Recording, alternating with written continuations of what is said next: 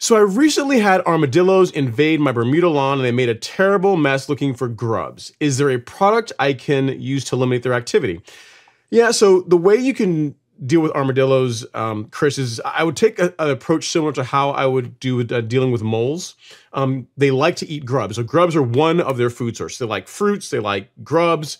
Um, so if you can help eliminate that using an insecticide like acelepryn, like this, this will do the trick. We'll make quick work of cleaning up the grubs in your lawn, which will make it less attractive for the armadillos, and hopefully will make them go somewhere else. You know that that would be my my recommendation. That's the same approach that I, I recommend when it comes to dealing with with uh, mole problems. You eliminate their food source or seriously reduce their food source, and then you can resort to baits and traps uh, to help to help clean them up. But but yeah, getting rid of their food source is thing one, which is just going to make your lawn less appealing, and will will make them want to go somewhere else.